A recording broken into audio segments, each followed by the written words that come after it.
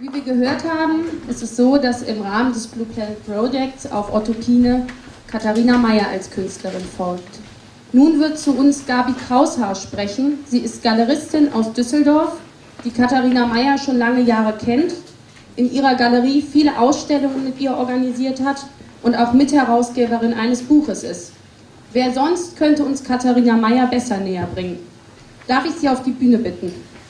Bitte begrüßen Sie mit mir Gabi Krauser.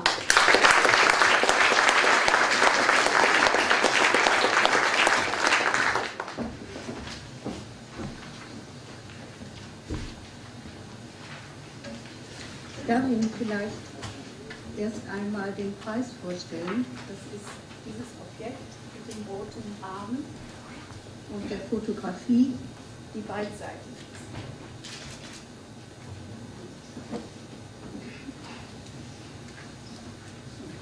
Es ist ungewöhnlich, dass als Preis ein Kunstwerk vergeben wird, muss ich zugeben, aber es ist sinnvoll.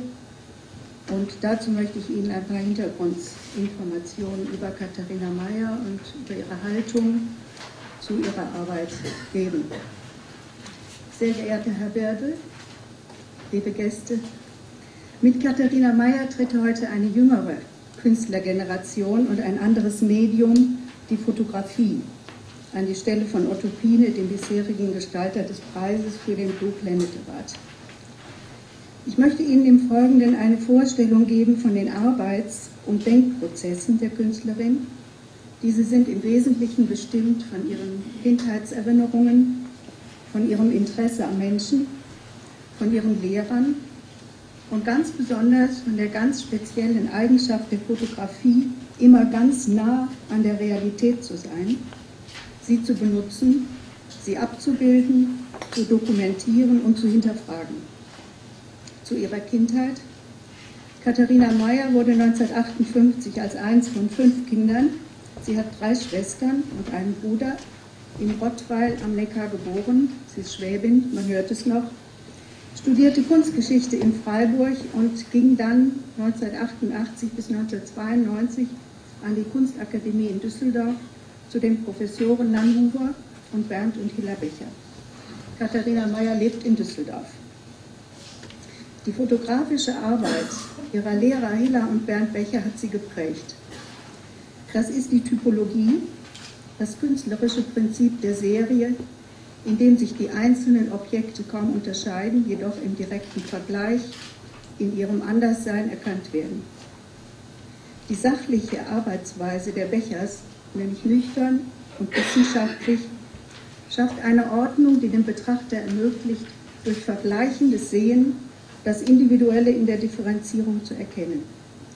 Die Bechers als Akademieschüler, äh, als Akademielehrer in Düsseldorf wünschten sich, dass die Studenten ihre Themen systematisch, konsequent bearbeiteten und dass sie ihre Themen selbst finden.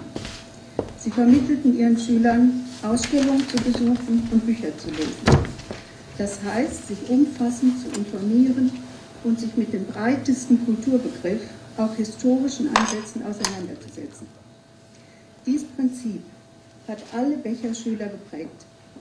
Ihre Fotoarbeiten sind klare Blicke auf ihre unmittelbare Umgebung und somit Ausdruck von der sozialen Kraft unserer Gesellschaft, sei es in den präzisen Darstellungen charakteristischer Gebäude und Innenräume, ebenso wie in den Porträts von Katharina Mayer. In der damaligen Becherklasse, also der Fotografieklasse der Akademie, wurde ein Schriftsteller besonders häufig gelesen und wird auch jetzt immer noch zitiert. Es ist Roland Bacht und ich möchte ihn hier auch zitieren. Ins Zentrum gehen heißt die soziale Wahrheit treffen und die ist meist in der anonymen Alltäglichkeit. Die anonyme Alltäglichkeit um sie herum ist für Katharina Mayer immer der Anstoß zu ihren Fotoserien. Mit den Titeln Getürkt, Seance, Maria Frieden und Familia. Jede Serie entstand in einem besonderen Prozess. Und da ich Ihnen die Arbeiten heute nun leider nicht vorstellen kann, möchte ich im Folgenden kurz diese Prozesse beschreiben. Katharina Mayer lebt im Düsseldorfer Stadtteil Flingern in dem in den 90er Jahren diese erste Serie entstand, zwischen 92 und 97. In diesem Stadtteil lebten viele türkische Frauen mit ihren Familien. Sie sah die Frauen täglich auf der Straße, im Einkaufsläden oder in Imbissstuben. Sie ging in das türkische Zentrum und sprach sie an. Sie wollte sie fotografieren. Auf dem Flohmarkt in Gelsenkirchen ließen sich die Frauen mit ihren Kopftüchern nur von hinten von ihr fotografieren. Es entstand eine wunderschöne Serie mit bunten Kopftüchern, aber das war nicht das, was die Fotografin wollte.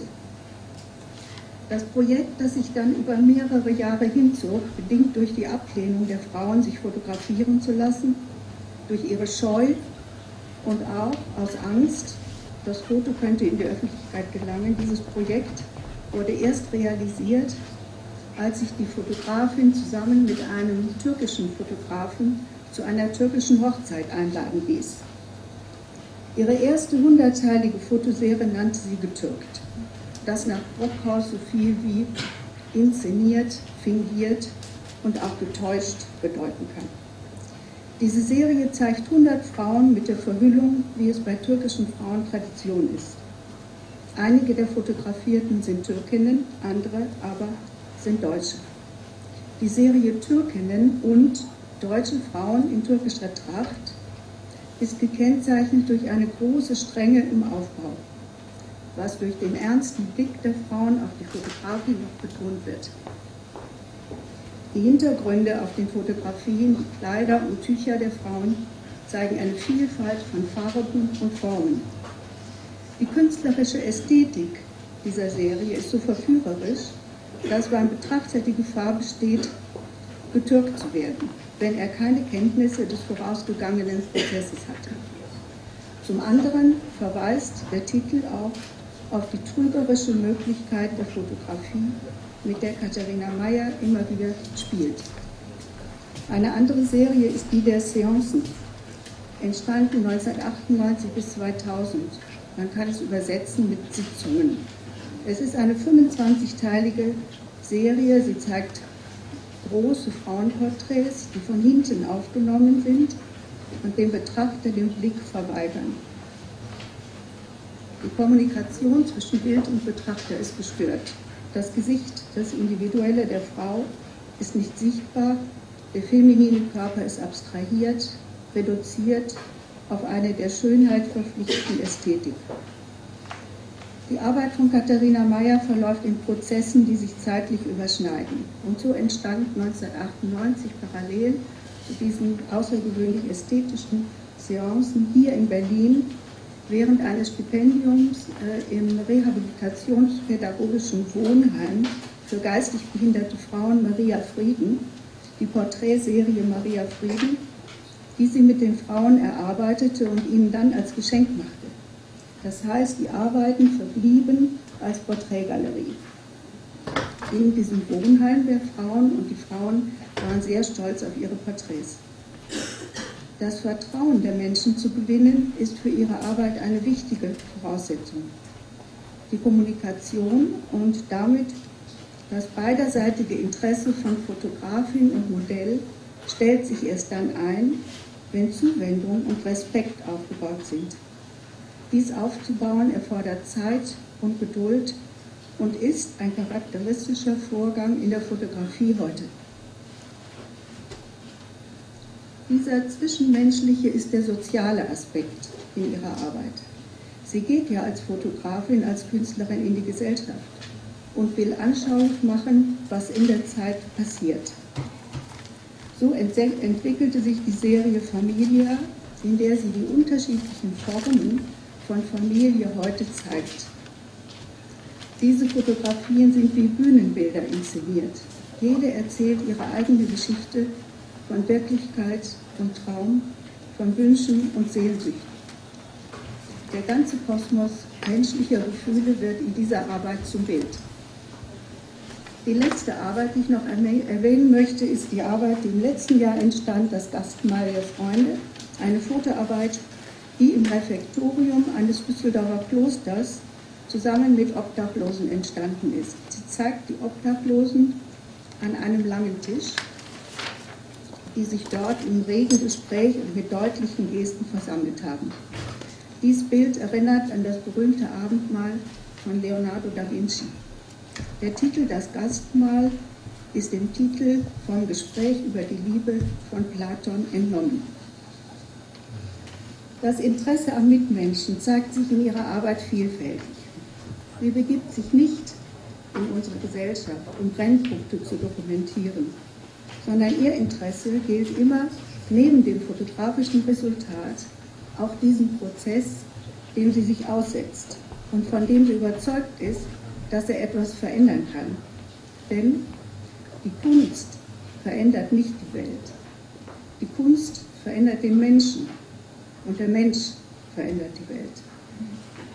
Diese Botschaft liegt in ihrer Arbeit, die immer geprägt ist von privatgeschichtlichen, kulturgeschichtlichen, sozialgeschichtlichen und kunstgeschichtlichen Zusammenhängen. Ihre Arbeit als Fotografin hat sich über die Jahre nicht nach der Nachfrage am Kunstmarkt entwickelt, sondern nach ihrer inneren Notwendigkeit, mit Empathie, Neugier und Beharrlichkeit sich den Problemen unserer Gegenwart mit den Mitteln der Kunst zu nähern, sie zu befragen und sie ins Bild zu setzen, wobei bei Katharina Mayer Sehnsucht, Wunsch und Traum ebenso den Kosmos Mensch prägen wie Sachlichkeit, Präzision, Distanz und Schönheit. Die Arbeit, die Sie hier heute sehen, ist und äh, die das Geschenk für den Blue Planet Award ist, zeigt einen solchen Kosmos und ich hoffe, Sie haben Freude an der Arbeit.